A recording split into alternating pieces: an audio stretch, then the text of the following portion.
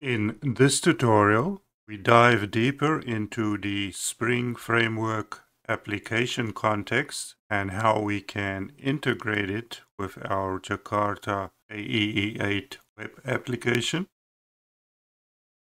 This is the high-level overview. It is a container managing beans in a Spring application and it manages the bean lifecycle, dependency injection, event handling, and internationalization. The lifecycle management is all about the bean creation, initialization, and destruction. The dependency injection handles the automatic dependency injection. The event handler supports publishing and listening for events. Then there is internationalization, allows you to internationalize your messages. And finally, there is a built-in bean factory with additional functionalities.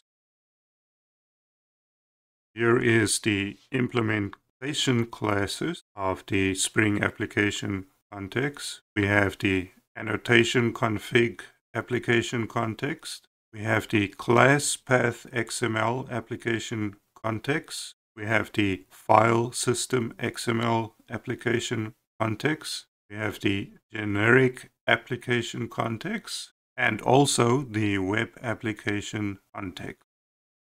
Now we're going over to the course documentation, our Spring Framework review, and here is our Spring application context document.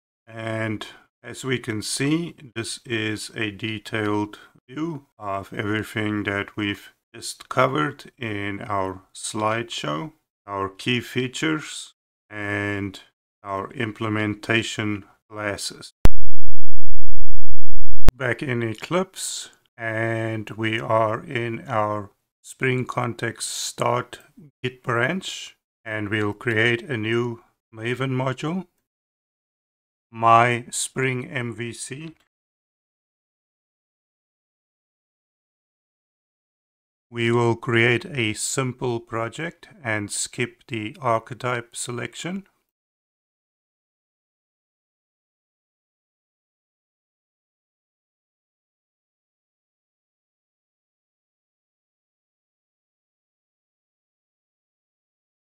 So Eclipse created the new project for us.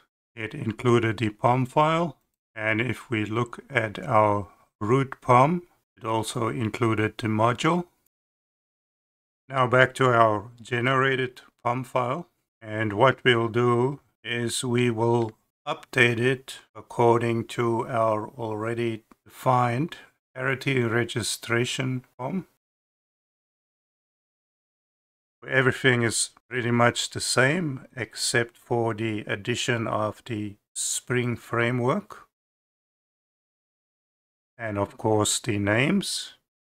And now we're going to add our Spring XML context configuration for our web app.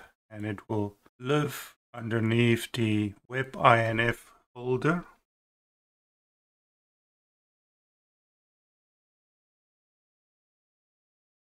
And we'll call it spring-config XML. And this is what it looks like. We've got our component scan definition, got our annotation driven definition, and we see also that we have a view resolver bean that we'll create later. Now we also want to update our web.xml config file according to our charity registration definition file. We'll add a new web.xml and we'll bring over what we need from charity configuration and we see a couple of changes. We now have the context config location of the spring config XML file that we just created we have a definition of the web context context load listener. We have a definition of the Spring dispatcher servlet. And we see that we need to create the servlet context.xml for this one. We have our JSP config and our session config pretty much as is from our charity registration form. So let's create the servlet context.xml. And this is what our servlet context.xml looks like. See that we define a hello controller as our one and only Spring Bean. And we also mark it as annotation driven. Let's create our hello controller.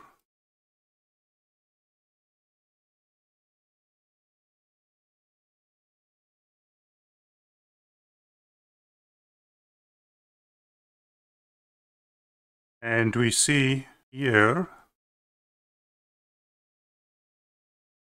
is our defined hello controller with a map for the servlet and we do a model attribute and our message says hello spring MVC and then we return the spring UI model.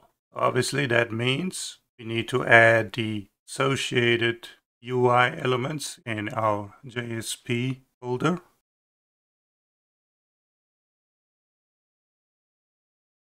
we define our views folder and in our views folder we define the hello.jsp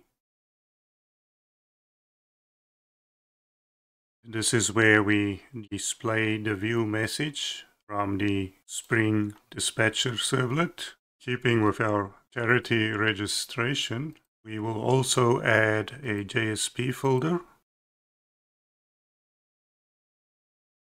And in this folder, we will add our base JSP fragment and we remove the registration relevant code and at this stage we are ready to run our demonstration project.